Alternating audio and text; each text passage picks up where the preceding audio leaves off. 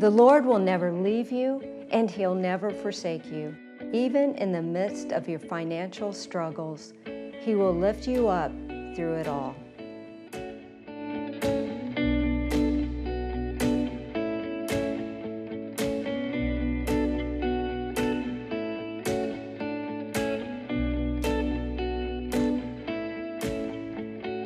Frank Sutton, bass guitarist and vocalist with the Christian country music group DMB, looks back on his earlier years on the road, the financial difficulties, and the time to call it quits. He too faced many financial challenges during those years, but God was faithful. 25 years later, the band reunited and with a new name, Jackson Heights. And they haven't slowed down yet. This is his story of unshakable faith. This is today's Nashville. Frank, I am so excited to sit down with you today. Me too. And that you are going to share your amazing journey. And it started when? Uh, growing up. Like a lot of artists, come up through the church. Mom, dad sang, sister Were- well, sang. Were you born here or where were you born? Oh, North Carolina. No, Goldsboro, North Carolina, born and raised. Um, home church, you know, we, the family all sang. Made me go to piano lessons. That didn't work out so well. After four years, I quit. Dad said, You're going to play something. So took me to the music store. And Ricky Frederick said, Well, try lead guitar. That didn't work. Try acoustic guitar. That didn't work. Bass guitar. Yeah, that works. How old were you?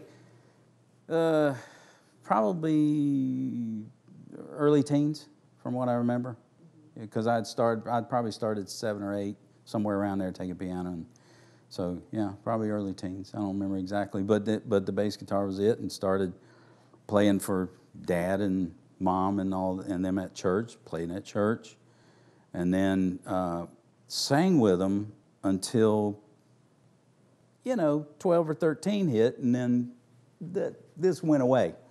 Um, for about a year and a half, I lost my voice, and, and so I just kept playing. After it came back, then started singing with them again. Um, Now, were they singing in church or going to different churches or was it just a family? at church, it was family mostly. It was it was the four of us. It usually, my sister played piano, I played bass, my dad played acoustic guitar. So that was kind of the music, and and then all four of us sang in- Okay. in, different parts. And then fast forward to my senior year in high school, I we played with uh, uh, uh, my old buddy Galen, Galen Pope and the Majestics. We played with them somewhere around town, I forget. Um, they needed a bass player. They asked me. I asked Dad. He said, "Okay, as long as you keep your grades up, you can still do it." So my senior year in high school, weekends I was going out with them and playing weekends. After I graduated, the year, the spring after I graduated, we played with the Dixie Melody Boys at Charles B. Aycock High School, if I remember correctly, on a Thursday night. They needed a bass player. Of course, they came and said, Hey, you want to try out? And I said, Why? and they said, Because we need a bass player. Well, you got one. He's, no, he's leaving. Oh, okay. So tried out with them, and that was Alan. Um, he was the band leader. And he said, We ran through a couple of songs that I knew. And he said, Hey, give me a minute. Went and talked to his dad, who was Ed O'Neal, Dixie Melody Boys. Um, came back said, Okay, job's yours. We're leaving Tuesday if you want to go. And you're 18 years old or high Uh, Let's school see. still? I graduated in 79, and, uh, and, and it was the next spring in 80. It was April of 80. So you just decided to go on the road. Yeah, and at the time I was working a job, and I talked to my dad. Well, after Alan talked to his dad, I said, "Well, let me go talk to my dad." I talked to my dad, and he said, "So what you want to do?" I said, "Yeah, but what about my job?" He said, "You go in tomorrow morning and tell them; they'll, they'll understand." So I went and told my foreman the next morning, and he said, "Hey, gonna miss you, but I get it. I understand." So Tuesday, loaded up, and whoop, five years of that on, On the road for five years. yeah, that's all we did. 1980 to 85, uh, we were gone typically 300 plus days a year um, on the road. So all over the United States or Oh yeah, United States, Canada, Um, you know, we, we used to do tours up in Canada. What was it like to be on the road at that young of age?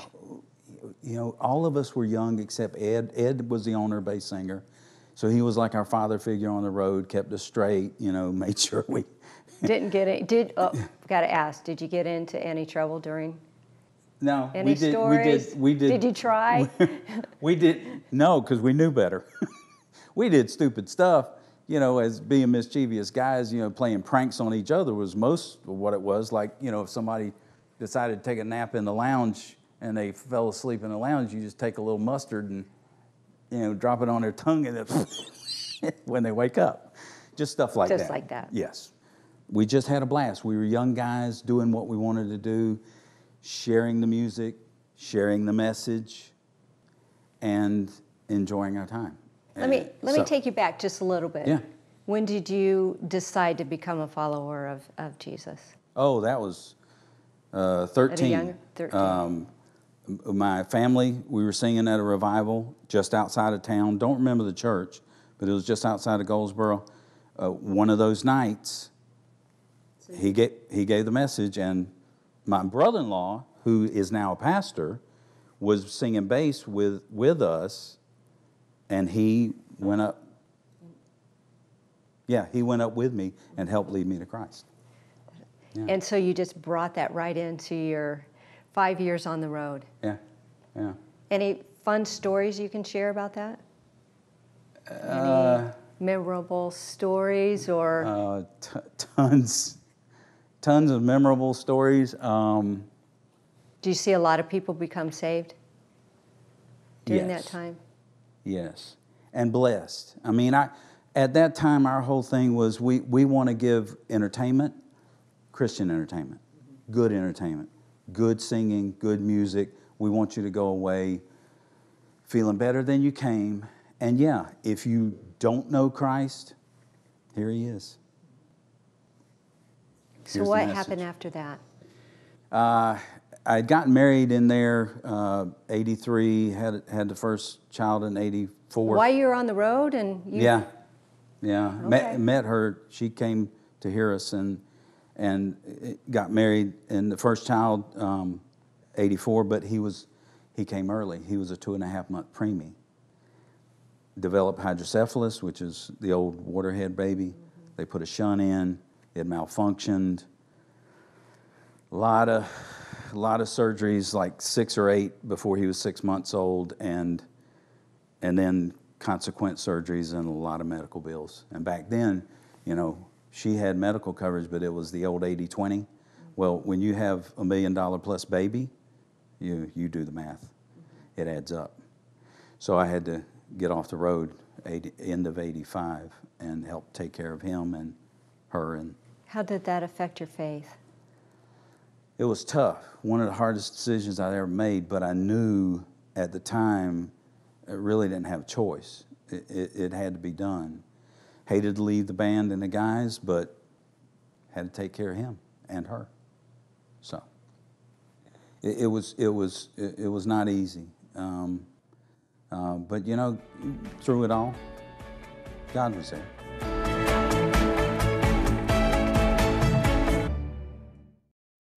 Frank, that must have been so difficult for you at a young age, a new wife, a baby Yeah, in the hospital, yeah. coming off the road. What did you do after that?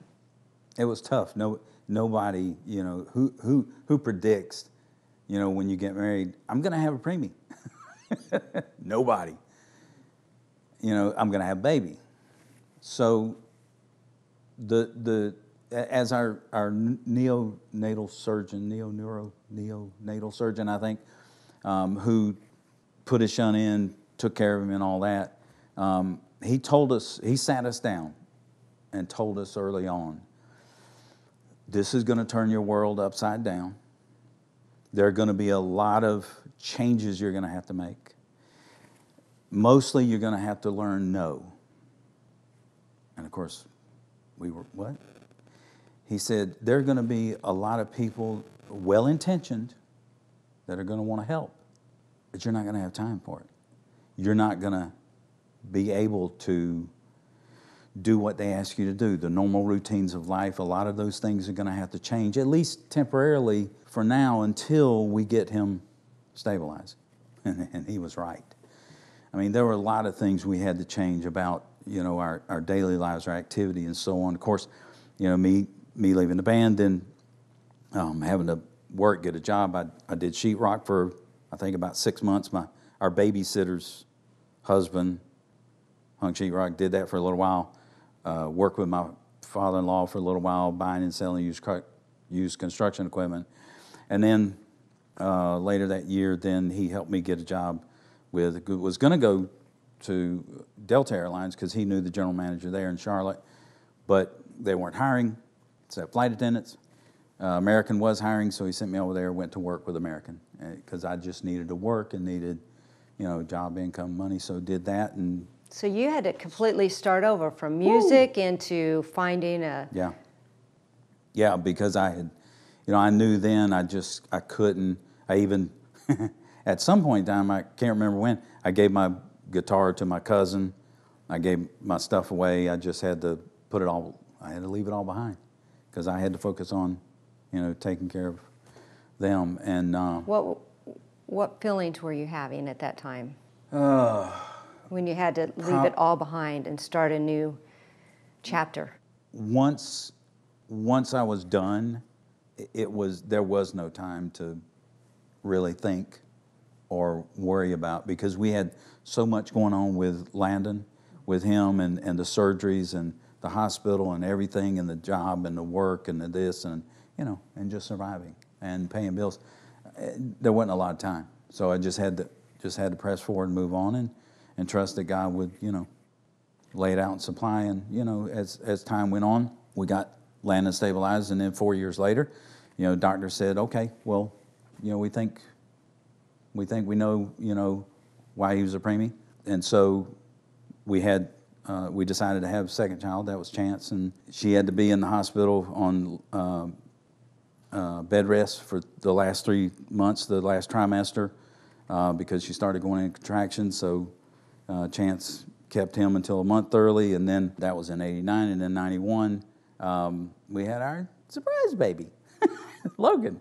I call so him my Disney baby. Yeah, three boys. yeah and and had him and I one same thing. She had to be on bed rest last trimester, so you know got through that and so on.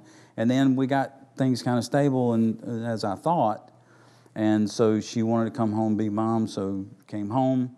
Um, I I worked and worked and worked a lot.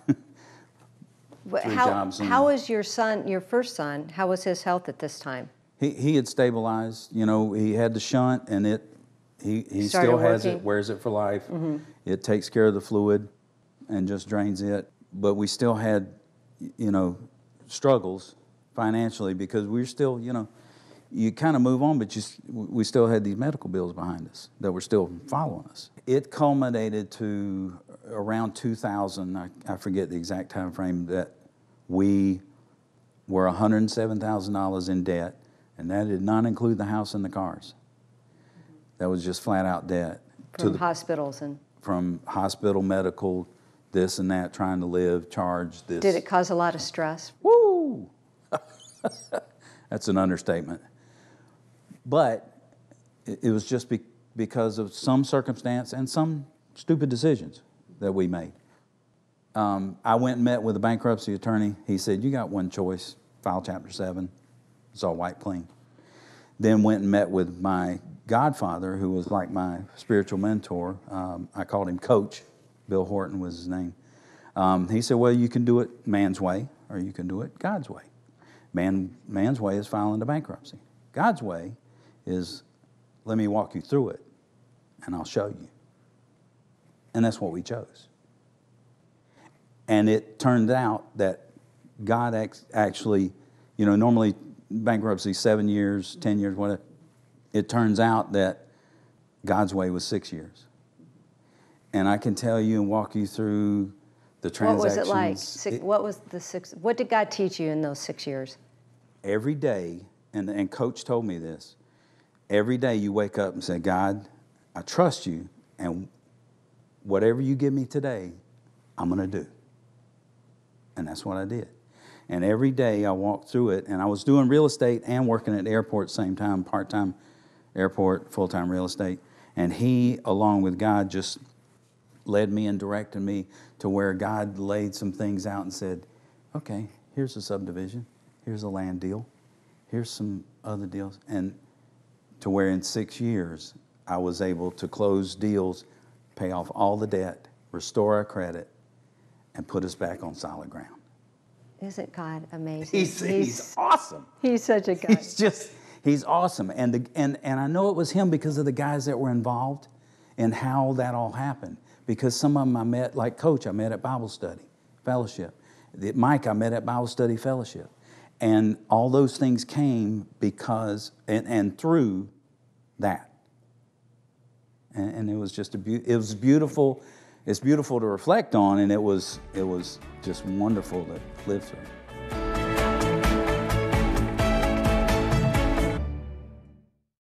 So, Frank, after six years, God restoring your life, pick up from there. Ah, solid ground. You know, had to you had to get car for the oldest because high school, and then So they're growing up. Your kids are all growing up at this time. Yeah, yeah, and there was a house move somewhere in between because I was running out of bedrooms and bathrooms, so I had to get more for the boys, and and so she, she would have her own bathroom, but uh, college, and then one, and then the second one, high school, car, college, and then the third one, high school, car, college, and um, and they were they were all awesome. They uh, they majored they you know through middle school, high school they they did musical theater, and then first one went musical theater, then switched to vocal performance. Second one uh, musical theater and sign interpretation, and then flipped the major after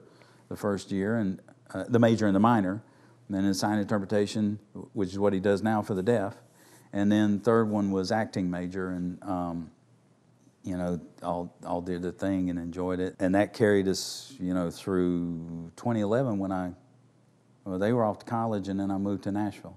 Well, let's talk about how God brought you back around, back into music. That was 2012, the year after uh, moved to Nashville. I- Actually, I was down, I was down at the beach at a wedding, and I'm getting a phone call and text. I'm like, I don't know who that is. And then finally, text. He said, "Hey, this is McCray Dove, Dove Brothers. Want to talk to you about DMB band reunion." Oh, okay. So I called him back. I said, and I said, McCray, I'm at a wedding at the beach. What's up? So he said, Well, I'm putting together this concert, benefit concert, and I wanted to see if you guys would come back together for a reunion of the DMB band, which when when we were together in the early 80s, you know, we had we had started out Southern Gospel, then transitioned to Christian country because of personnel changes in the vocals, and we actually started Christian country, which wasn't even a thing then. Uh, and we didn't know what it was then. We just needed different songs because we didn't have Southern gospel voices. We had country voices. That's kind of what we listened to. And, you know, our heroes are Alabama and Oak Ridge and you know, Gatlins and all that. So, anyway, we, we, we, said, we all said yes, got back together. It, it was like riding a bike. It was like, uh, Being home. it was. It really was. We all just clicked again. We, we all love hanging out with each other as brothers and brothers in Christ. We we just, we love being together. And of course, the, the bonus is we, we get to do our music, which we love. And, and we get to, and then the, the, the extra bonus is we get to share uh, the music that, and the gift he's given us with his message. Because you know we could we talked about it. We could at some point we could probably could have you know transitioned the country and all that and and and because we had a full band and and we actually in our day we were one of the few groups that had full band. And but we said you know what? We we like our stuff. We like our and we want everybody to know what we know. Well, you had a new season Yeah. and a new name. jackson heights Jackson Heights. and that came from um, So you're no longer the old band. No. You're the new band. No. When we got back together, Ed's dad, Dixie Melody Boys, they were still on the road, so it was kind of confusing with us, Dixie Melody Boys, DMB band. So we said, well, let's just, you know, we're back together. Let's let's do a name change. And the guys, you know, um, there was this little community uh, near Kinston, North Carolina, where we were based of back in the '80s, uh, called Jackson Heights, and that's where a lot of the guys live when you know they came from wherever and and with the band. So I forget who it was, it was Ken or Alan. One of the guys said, "Well, what about Jackson Heights?" Well, the only other Jackson Heights name was some group in Europe years ago, and then what the the community up in New York. So Jackson Heights fit, and and it worked, and and that's how what we go by now, which, which is JacksonHeightsMusic.com on online, but it's Jackson Heights, and that is is our new. We've done one, two, we've done three CDs since we've been back together. New project where, or or new uh, music. Kent, our, our lead singer, he writes 90% of our music. So our latest CD was this thing called Life, which is one of the songs on the CD.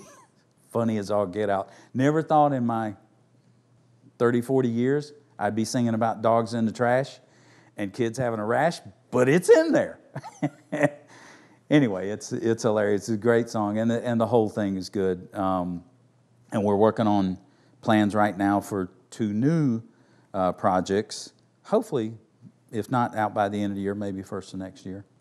Yeah. What's life like on the road today? It's sweet because we you know we all we all we try to go out well when we got back together we said well let's do this again next year so we took a week off and did it next year week's kind of tough because everybody's got jobs and, and and lives and stuff so well let's do some weekends so then we started um, doing weekends and now we try to do one weekend a month, every other month, whatever we do. We put out the word. Somebody wants us to come, we'll go. If we can work it all out, we'll go. And so we do weekends now, and, and it's you, we have no pressure. There's no we don't have to worry about paying the bills, or or where or where's fuel money coming from. It, there's there's none of that, and it's all sweet because we just get to go out and share, spend time together, and then the blessings are when, for instance, this, we, we sing up at this church in the Northeast, and this guy comes in, and he's, he's just invited to come in because there was just going to be this concert, music. It- motorcycle, doesn't know, ha, doesn't have a clue. He hears the music, it, it appeals to him, he accepts Christ. Frank, you are amazing. I love what God has done in your life. I love your tender heart. You are such a dear friend to us. Taxes, taxes, taxes. There you go. Thank Got you. it back. Thanks, thank you, Frank. Thank you. My friend, are you facing financial challenges? Like Frank said, are you going to do it man's way or are you going to do it God's way?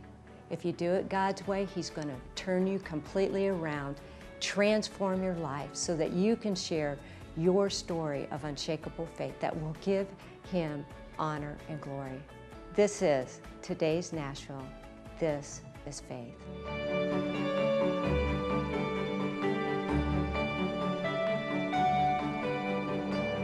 Cornerstone Television wishes to thank all our faithful viewers whose consistent prayers and financial support have made this program possible.